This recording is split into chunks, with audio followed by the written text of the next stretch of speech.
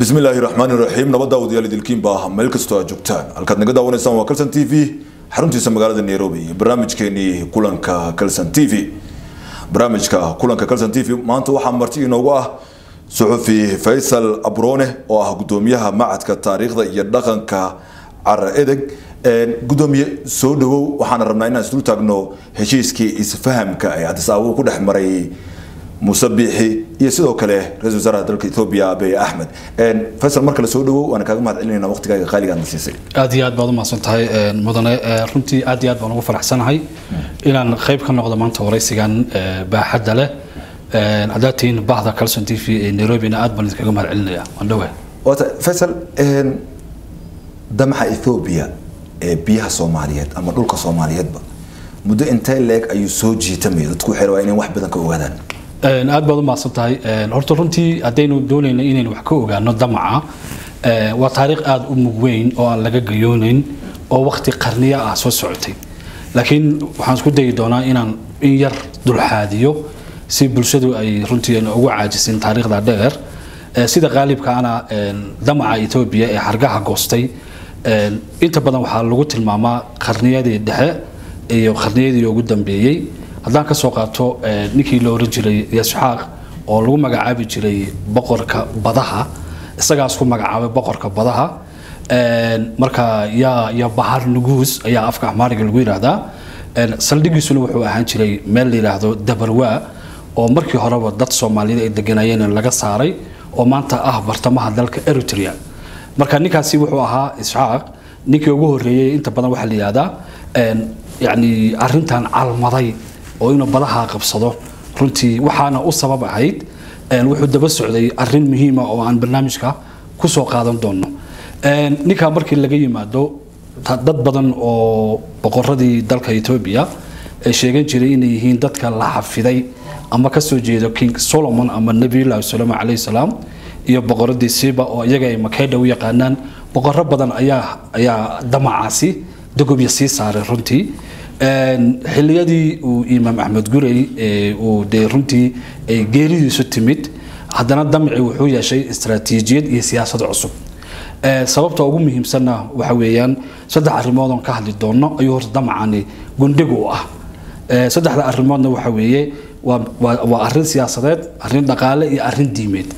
Marka isxaaq haddaan dib ugu noqdo magaalada leelada axom oo magaalo aada u facweyn ah ayaa waxaa mudnaantii iyo martabadii kala wareegay magaalada saylac marka kaniisadihii halkaa ka dhisnaa inta badan waxaa burburiyey ama burburisayba boqoradii soomaaliyeed ee la ohan jiray caraweelo oo saddex iyo soddon sano deegaanka ka talinaysay.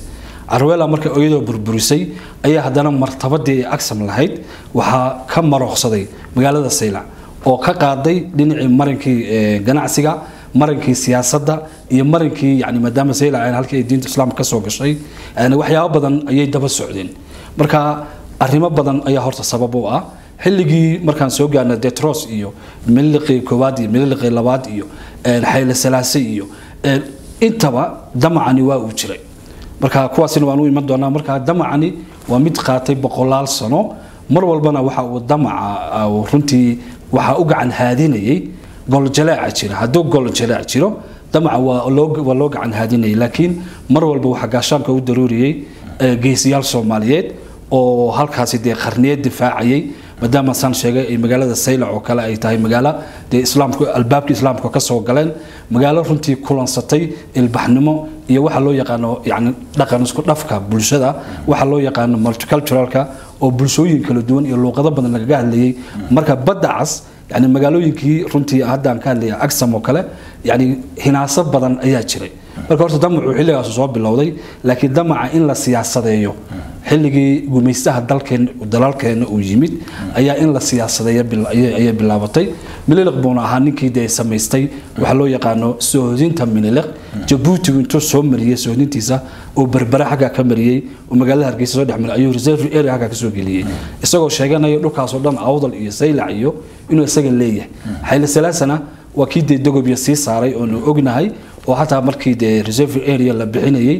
Oo xataa ay jirtay goorgoortan ah in saylac etoobiya la siiyo. Marka arrimahaas dadku inta badan way ogyihiin taariikhda dib lagu noqdo annagu dee iro t v ahaan barnaamijka aniga aan gacanta ku hayo iyo tvga gacanta ku hayo ayay taariikhda kaga bogan karaan. Tobankii qarniya u dambeysay wixii soo socday. Marka horta damaca xilligaas soo bilowday mid maanta calmasho maanta la cugay ma ahan waa mid soo jiraysay waa tahay een, waxaa jiray shir saddex oo jabuuti ka dhacay oo ismaaciil cumar geelle oo dabcan gogasha uu dhigay wadahadalada soomaaliya iyo somalilan.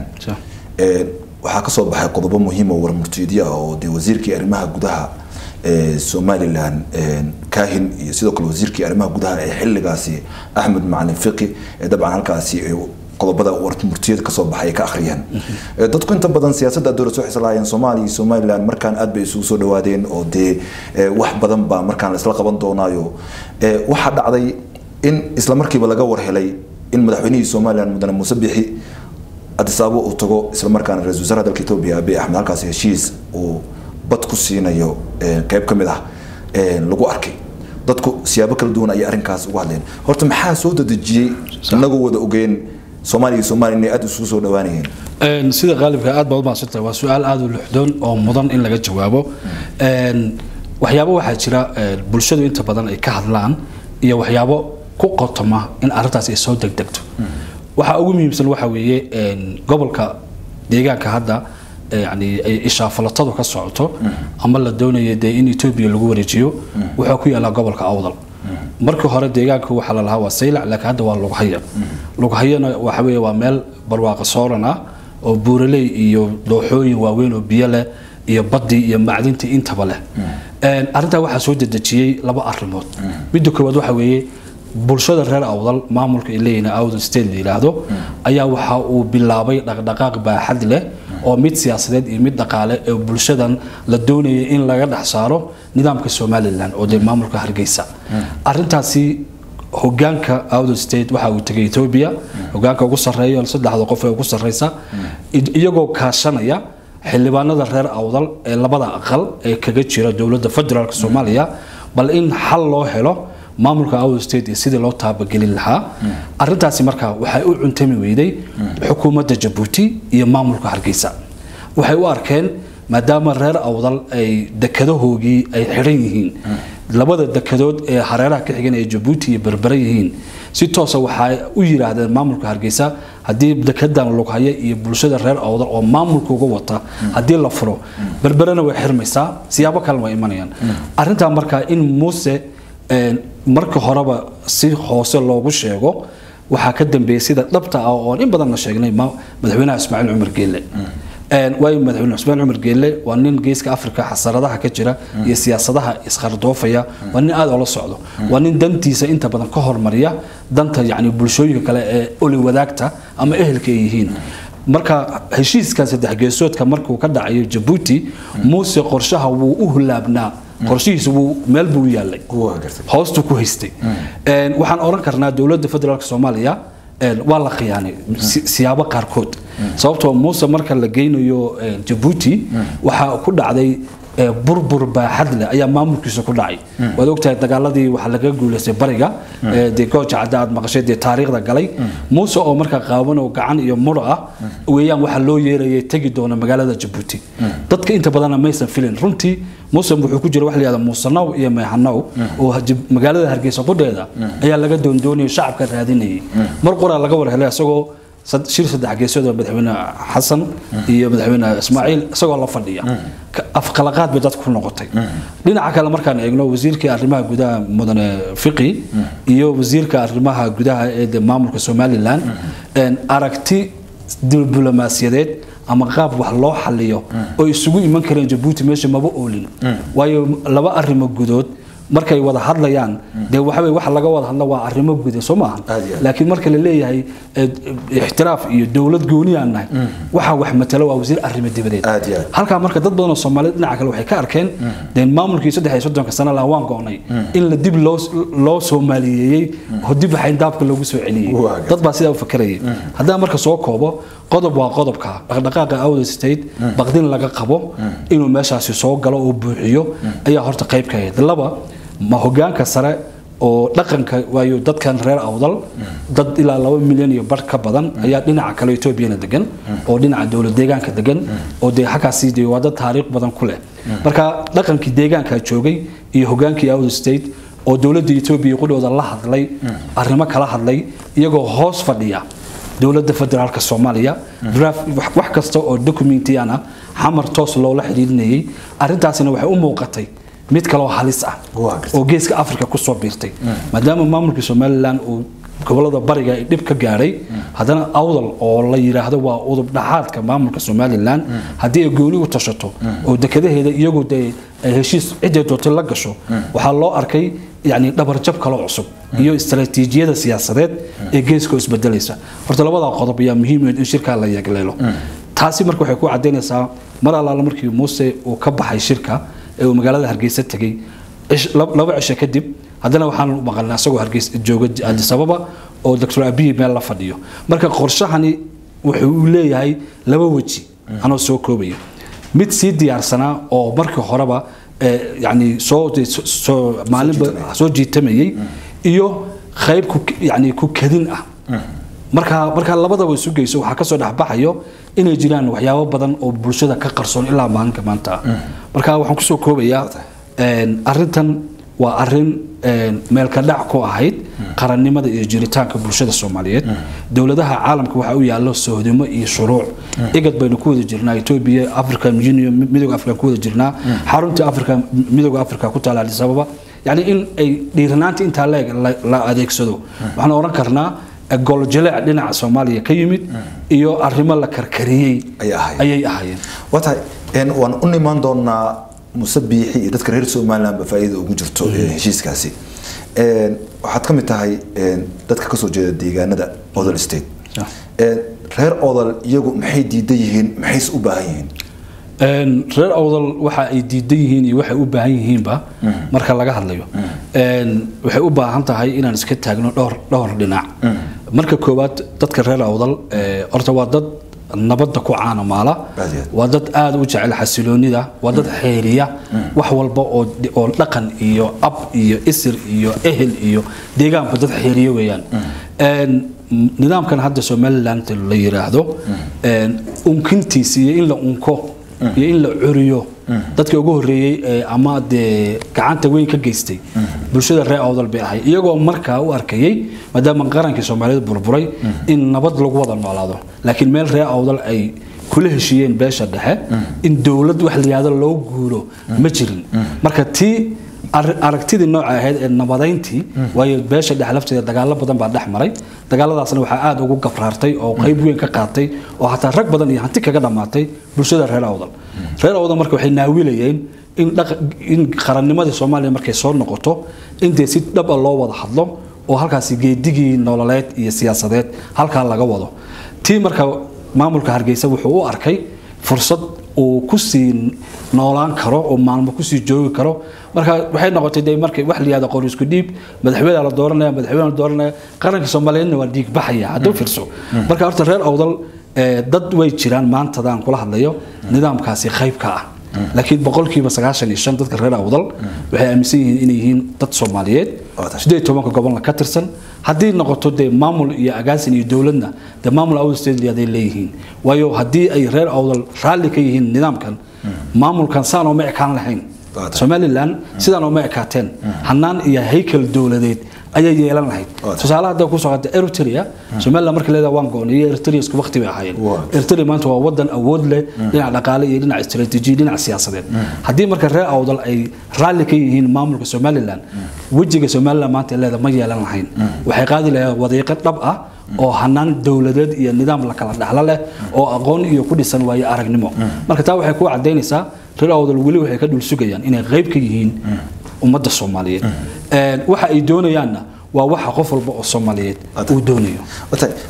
Wasiirkii hore arrimaha dibadda soomaaliya cabdiraxmaan bayle oo dabcan ka mid ah rugcadayaasha soomaaliyeed ee dhanka siyaasadda kana soo jeeda deegaanada odal state. Ayaa waxaa ognahay in uu tagay hargeysa islamarkaana uu caafis weydiistay muuse biixi sidoo kale waxaa jira siyaasiyiin muhiim u ah ama lafdhabar u ah reer odol state oo ka tirsan nidaamka somaliland.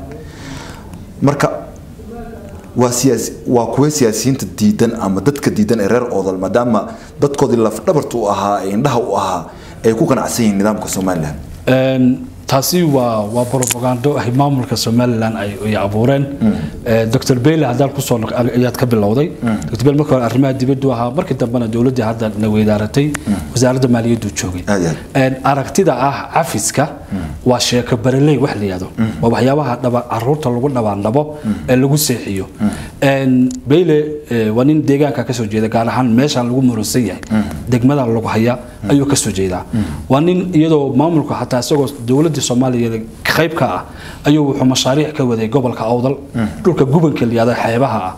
Iskuulkan ama boodikan weyn ee la yihahdo geb. Isagaa hormuudka ah isagaana dhisay.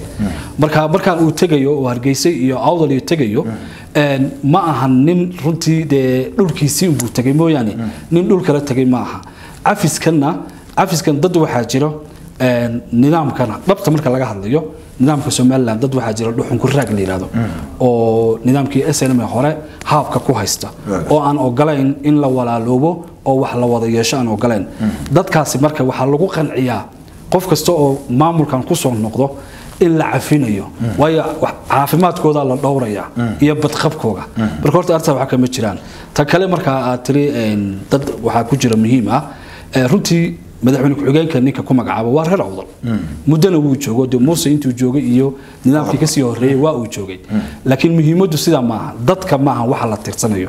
Waxa la tirsanayo waxa weeye waa baahida iyo rabitaanka iyo jiritaanka mustaqbalka ummadda meesha degan yani qof yani anigu haddaan shaqaale ahay yani ma ahan shaqaalaha aan ahay inaan rabitaanka bulshadeeda ku matalayo soomaad garan iyagu waxaa jira maamulka beesha dhexe ama somalilan dad magaalada muqdisho jooga oo xildhibaano ah oo wasiiro ah waxay u yaqaanaan dad shaqo tagay.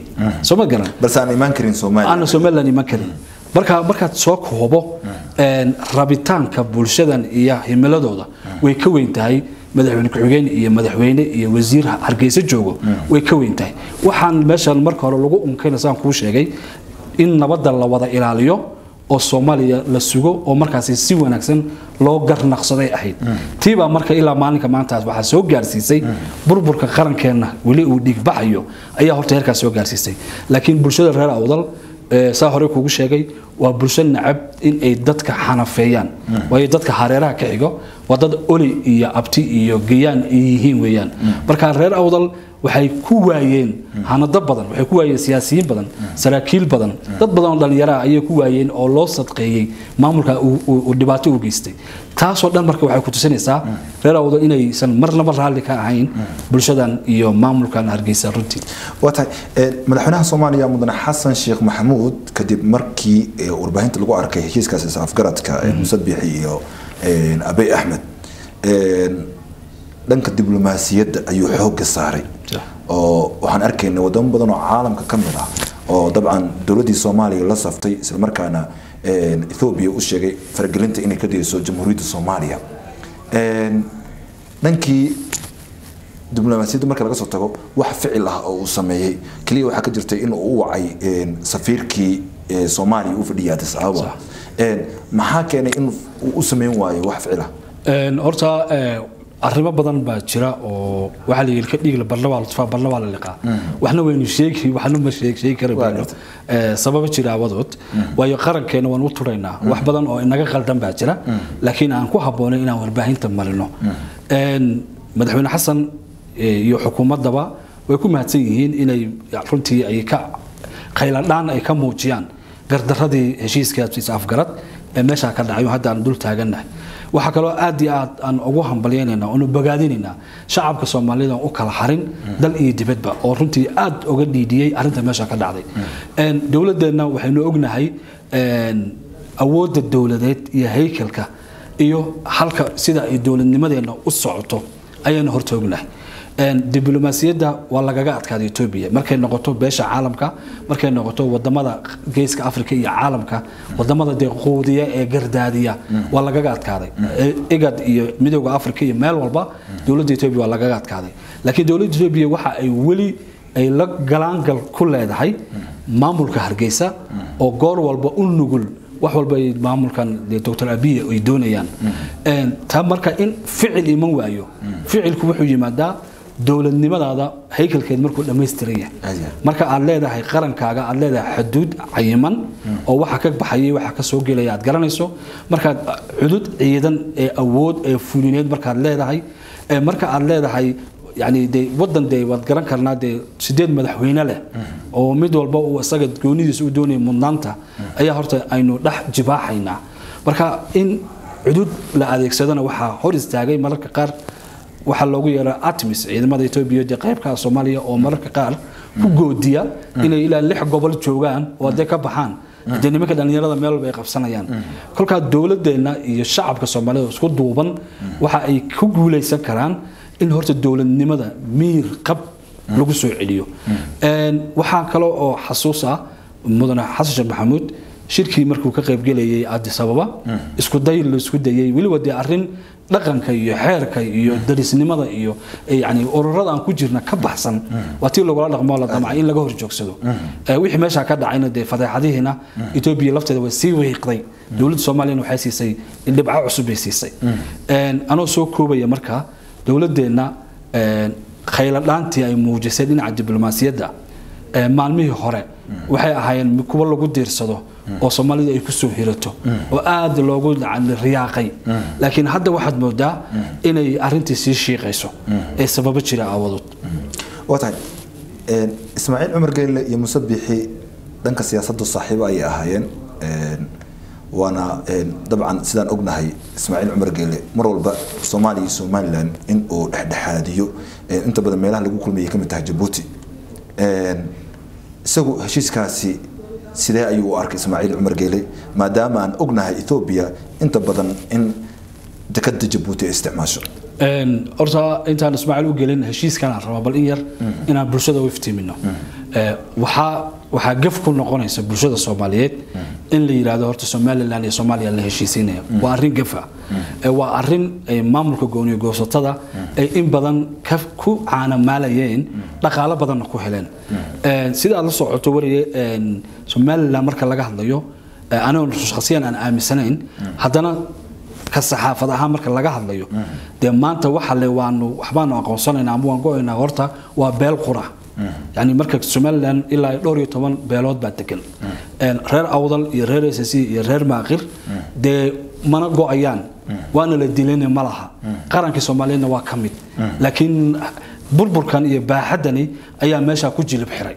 Marka horta marka laga hadlay waa la wada hadlayaa in loo dhigo haddii reerkan ay wax tabanayaan beesha dhexe in la yidhaahdo beesha dhexe iyo qarankii soomaaliyeed baa wada hadlayo Waay. ayay ahayd dadkuna saasay wax ku fahmi karaan laakiin maamul somalilan la yidhaahdo iyo dowlad soomaaliyeed baa wada hadlayo taa waxay gaf ku tahay qarannimadeena waayo madaxweynaha ummadda soomaaliyeed wuxuu ku dhaartay wadankan inuu madaxweyne ka yahay inuu ilaaliyo xandaabka iyo nolosha iyo jiritaanka marka isma qabanayso yani reer odol nidaamkii somalilan ka tirsan yihiin soo maaha reer awdal may nidaamka somalilan dee rabitaan oogama tirsano koox ka mid ah ka tirsan.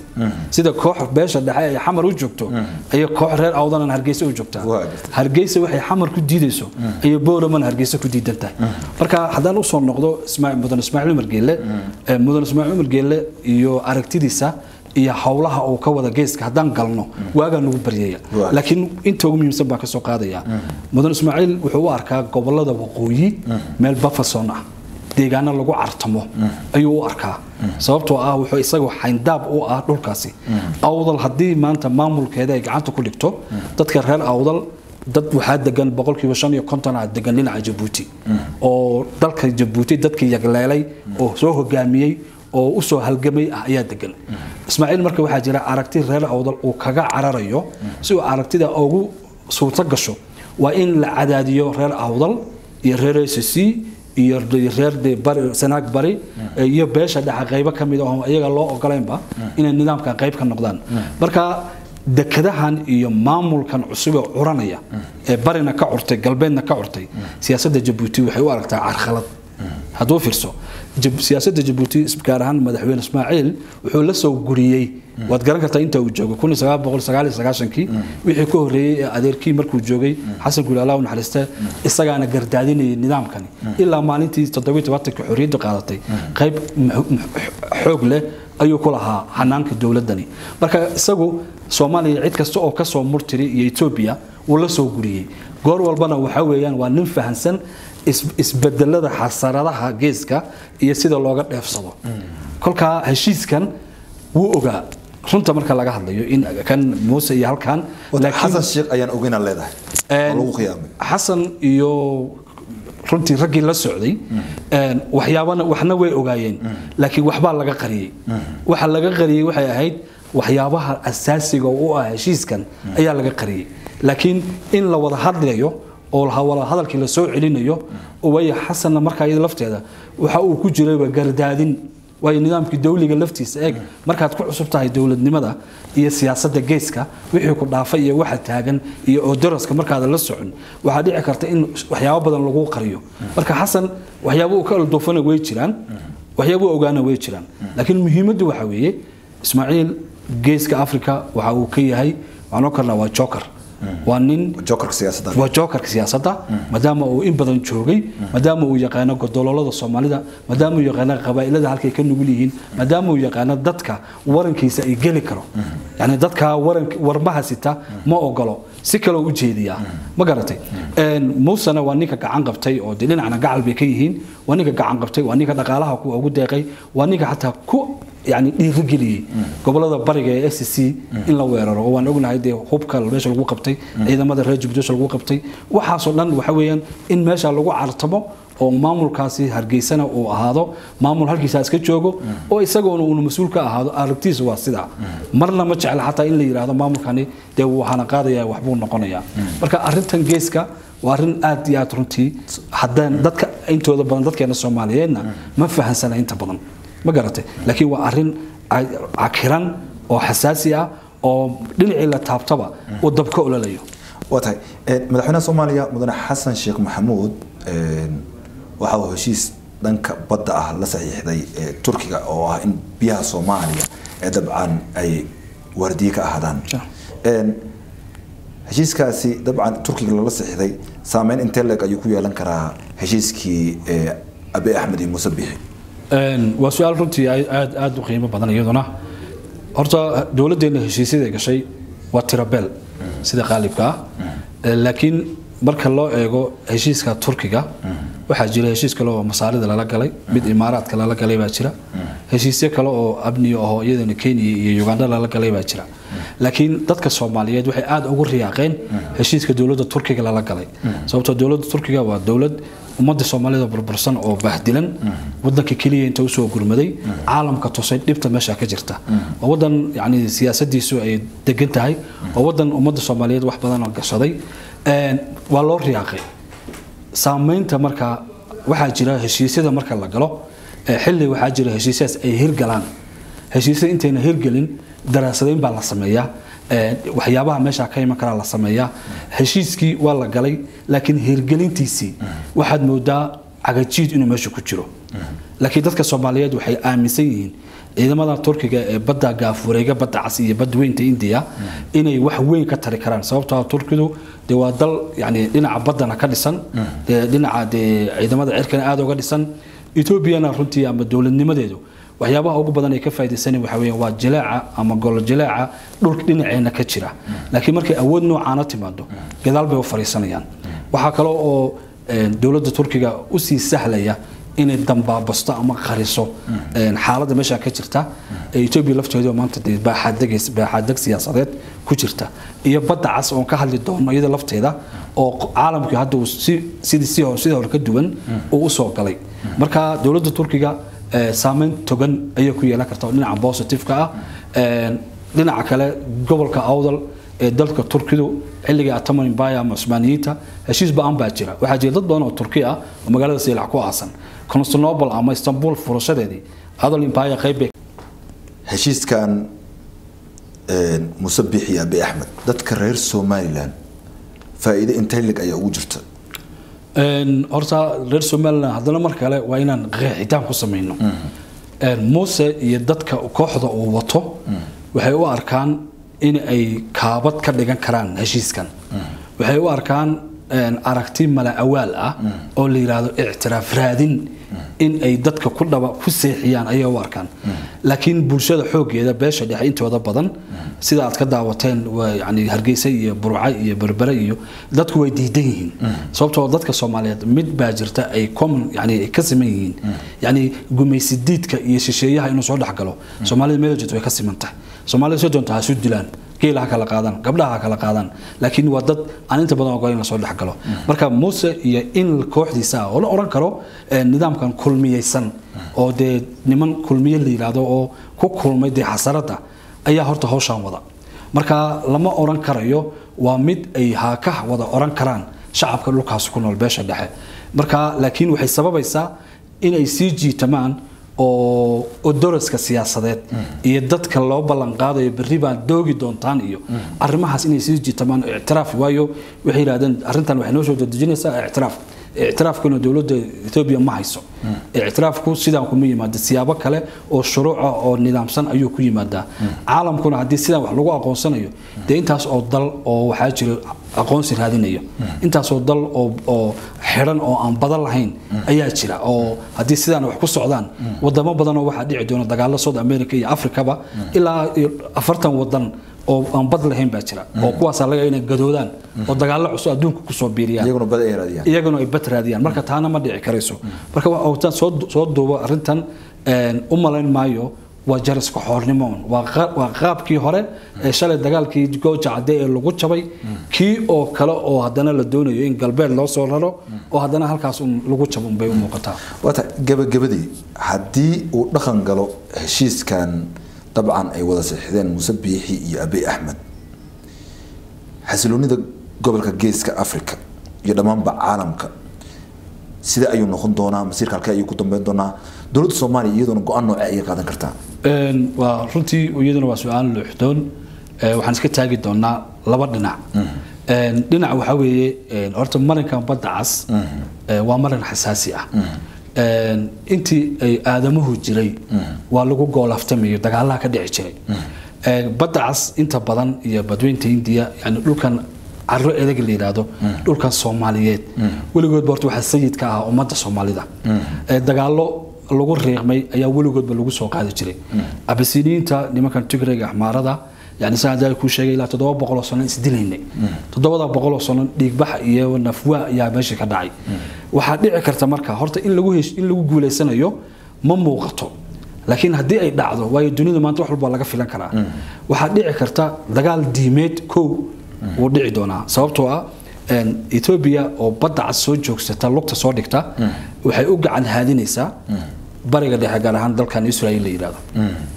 waxaa imanaya marka aragtidii siyaasadeed baa isbedelaysa. Waxaa dib loo gocan doonaa duulaankii ninkii loola jiray abraha iyo iriyaatu abraha ka sii horeeyey oo dee diintuba iyo dee inagu meel walba aad ka heli karayso. Waayo waxa weeyaan duulaankaasi diimeed wuxuu abuuri karaa in bariga dhexena ay muqaawimo ka soo baxdo. Goboladan waqooyi ee soomaaliyana ay ka soo baxaan muqaawino. Dadkii soomaaliyeed weligoodba isku hilbadiriraya waayo ajuuraan empire iyo adal empire oo intaas isu jiro ayaa isu hiilin jiray. Shacabka soomaaliyeed inay ka soo dhexbaxaan awoodo dagaalama iman karta. Labo jabuuti iyo eritrea iyo masar iyo yemen iyo saudi arabiyana ma ogola in yani ay soo galaan meeshan waayo waxa weeyaan nin aanan nin aanan badkiisii iyo baaxadiisii badda ahayn hadduu soo galo waxaa qasab noqonayso inuu soo xambaari karayo aragtiyo kale. Marka waxaa iman doona dagaalo diimeed waxaa xirmi doona iminka dagaalkii xuutiyiinta dhex maray oda ogeyd dhaqaalihii saliidda iyo caalamka heerkuu gaaray. Marinkaasi waa marin muhiim u ah marinka xumus la yidhahdo iyo marinka marka laga hadlo waa laba marin oo muhiim ah. Taangiyada yani saliidda ugu badan dunida marta maraakiibta waddamada waaweyn maraakiibtooda yaalla. Marka haddii ay bariga dhexena iyo waqooyiga africa iyo geeska africa oo innaga aan ku jirno ay arrintan u arkaan inay carqalad ku tahay dagaal cusub baa laga yaabaa in weji kale siyaasadeed. inuu galo. Marka dagaal siyaasadeed iyo dagaal dhaqaaleed iyo dagaal diimeed intaba waa la filan karaa inuu dhaco waa tahay aad baa umahadsan tahay. Daawadayaal intaas ayaan ku soo gabagabaynayna barnaamijkii kulanka kalson t v oan ugu hadlaynay heshiiskii is-afgaradka ah ee dabcan adisaabo ku dhex maray ra'iisul wasaaraha dalka etoobiya abiy axmed iyo madaxweynaha somalilan mudane muuse biixi waxaa barnaamijka igala qayb gelaya islamarkaana aan ugu mahad celinayaa wariye faysal abrone oo ah gudoomiyaha macadka caro edeg. Intaynu mar kale kulmeyno waxaan idin leenahay sidaas iyo ammaan allah